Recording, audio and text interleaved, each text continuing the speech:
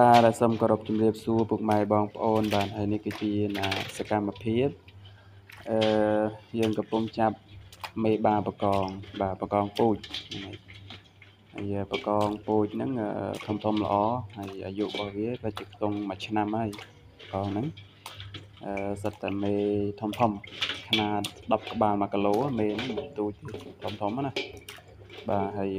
ពេលវាពងក៏ច្រើនច្រើនដែរ កូនវាម្ដងម្ដងគឺអឺអាច200ក្បាលឡើង200ក្បាលឡើងមេក្នុងមេមួយក្បាលហ្នឹងហើយពេលវាកូនម្ដងម្ដងបាទនេះអឺយើងលាងសម្អាតអាងហើយឥឡូវនេះចាប់វាយកមកដាក់អាងវិញហើយអឺកំពុងតែធ្វើការរាប់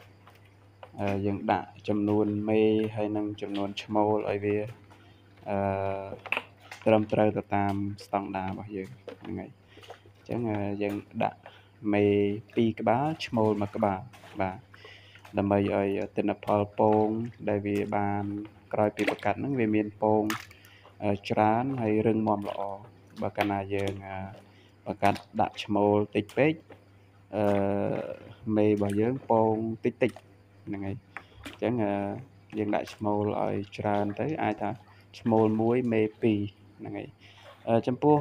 បងប្អូនខ្លះគាត់ប្រកាសដាក់ឈ្មោល1មេ4ឬក៏ឈ្មោល1មេ3អញ្ចឹងណាអានឹងតាមតិចនិចរបស់គាត់ប៉ុន្តែ តាមការពិសោធន៍កន្លងមករបស់ខ្ញុំគឺខ្ញុំដាក់ឈ្មោលមួយក្បាលមេ2ក្បាលបាទហ្នឹងហើយហើយឃើញថាមេបកងរបស់ខ្ញុំវាមានពងច្រើនច្រើនហើយរឹងមាំល្អហើយកូននៅពេលដែលញាស់មកក៏ភាគរយនៃការ ញាស់ហ្នឹងច្រើនហើយកូនមានសុខភាពល្អទៀតហ្នឹងហើយដោយសារយើងមានឈ្មោលដែលរឹងមាំអឺយកទៅប្រកាត់ជាមួយជាមួយញីបាទហ្នឹងហើយរបៀបប្រកាត់អឺបកងពូជហ្នឹងក៏បើនិយាយពីបទពិសោធន៍ហ្នឹងវាចូល3ឆ្នាំមកហើយដែលខ្ញុំប្រកាត់ណាហើយអាចរៀនសូត្រពីវាបានមួយចំនួន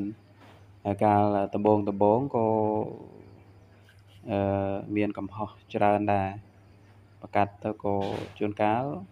មេមួយបានពងពេញពោះដែរប៉ុន្តែអត់ពងនឹងវាស្អុយទៅវិញ